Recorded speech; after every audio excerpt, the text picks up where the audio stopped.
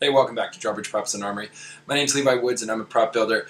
Today I'm going to show you a little trick that I used last year. I was working on Man in the High Castle and we were presented with a scenario where an actor was going to make a phone call on camera and he wanted to be able to phone another actor who was not in town. So we had to, rather than doing like off-camera dialogue, we had to rig it up so that we had a phone that he could use, like an old school one like this from the 1960s.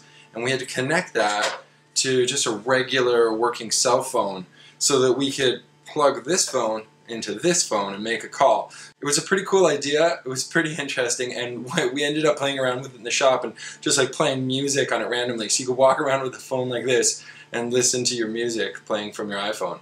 So I thought I better do a little video on how I'm going to do this and show you guys exactly how I wired this phone to work like that. So let's get over to the bench as we get started here, I'd like to say thank you to all my subscribers.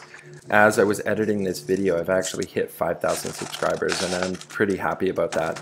If you guys notice, I'm cutting out a little brand of my Portcullis logo to put in the center of this rotary phone.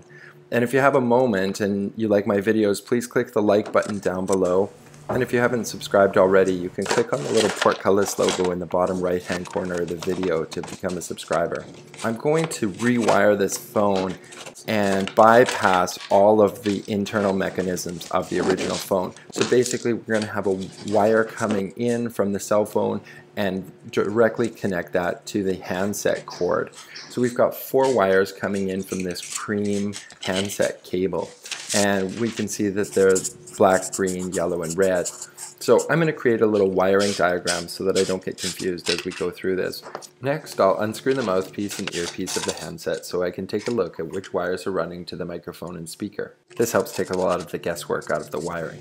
I can see that the black and yellow wires run to the speaker and that the red and green run to the microphone. The next thing I'm going to need is the cord that runs to the cell phone.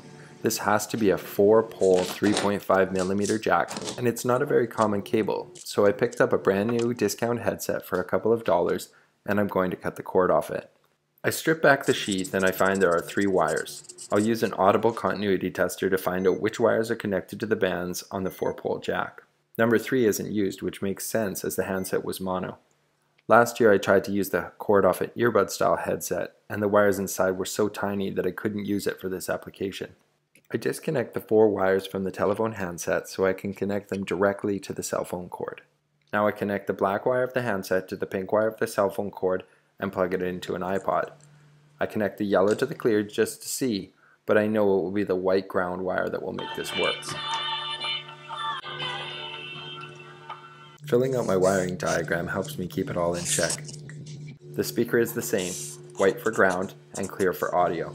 Now that everything's been tested, I can disconnect all of my test wires and get ready to permanently install these two wires together. I take some wire strippers and I strip back the ends of the four wires leading to the corded handset. Then I follow my wiring diagram, connecting all the wires in the right order. It's important that I'm careful about this. Once they're all twisted together, I can solder them and then put a little shrink tube on each one.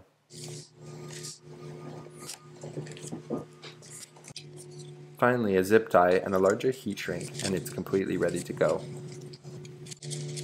I put the phone back together and run a quick music test to see if it works.